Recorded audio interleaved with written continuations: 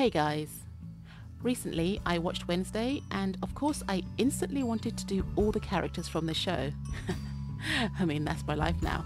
Anyway, I decided to start with Pugsley. I've got a confession to make. All this time I've always thought his name was Pudsley. I don't know why. I just kept mishearing it, I guess. But then I saw the subtitles on Netflix and it was Pugsley. Oh, yikes. Anyway, needless to say, that was a facepalm moment. But anyway, with that pointless fact confessed to and the internet appropriately responding with tumbleweed, let's get on with it.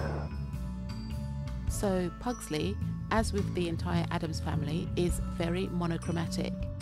I'm going to be using some James C. Brett 100% cotton yarn for the bulk of this project, with some acrylic thrown in. I will have a list of everything I used, including colours in the description box below. I just wanted to quickly talk about the whole black and white part of the project. When I first put the black next to the white, it turned out just a little bit too stark and I absolutely hated it.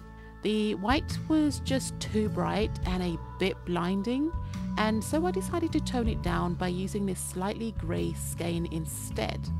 Funnily enough, when you remove the pure white, it looks fine, plus I wanted something reminiscent of a black and white TV effect anyway, so a muted white was perfectly fine, so I didn't really feel too bad making that substitution. Using some reference images, I created the stripes on his jumper. The stripes are uneven and aren't actually straight. I had some ideas on how I was going to do that, but it would have required me to vary the heights of the stitches, which would have caused problems later on down the line, and would have taken too long to correct. Plus, I was only going to do this on the torso and not the arms, so the arms are just far too small for that level of detail anyway. So I opted to go for the simple stripes but varying the thicknesses of the stripes instead. That also led me to do simple, straight, no frill stripes for the torso as well because I thought why not. And as for the boots, they're, they're really just nothing fancy. I just shortened them to make room for the longer shorts that he wears.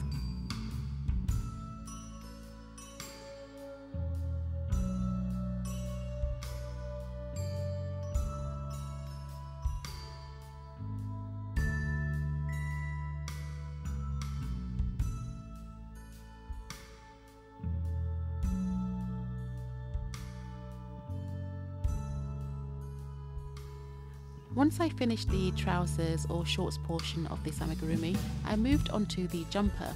I varied the stripe thicknesses, only changing colour at the beginning of the rounds. It's pretty much as I mentioned earlier, so let's switch to the time lapse for this bit as I show the progress of the jumper.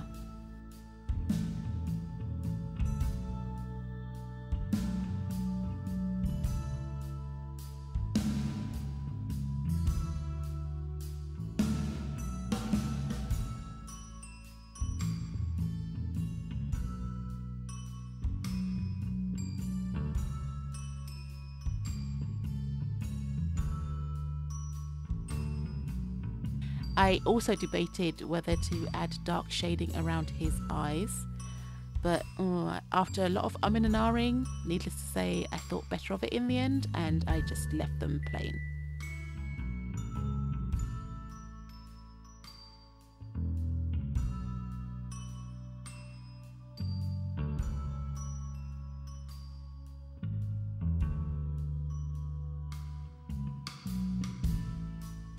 I added ears because I think he just looked better with the ears than without. I rarely add ears to my amigurumi, but if a project needs it and it fits with the aesthetics of the character, then I will begrudgingly add them.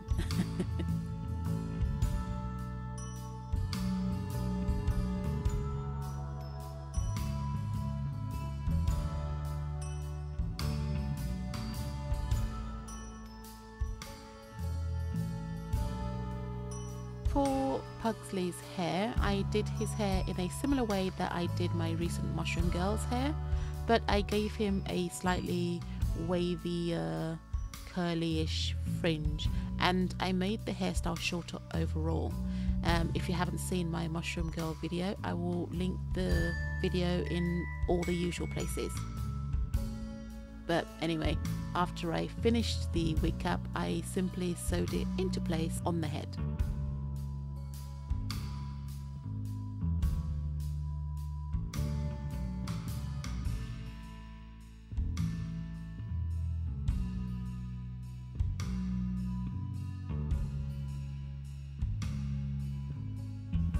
I wanted to recreate the locker scene from the first episode, and to do that, I needed an apple.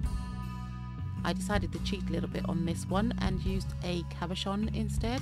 So, taking some sandpaper, I scratched the back of the cabochon just to prepare the surface to take the UV resin.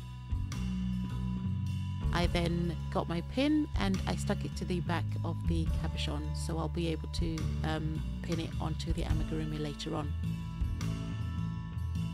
In the end, I think the cabochon worked out rather than sculpting an entire apple, so I think it's fine. It, it's fine.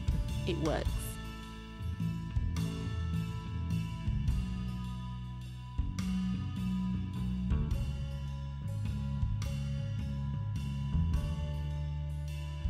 So all that's left to do is to finish sewing the hair on and we are done.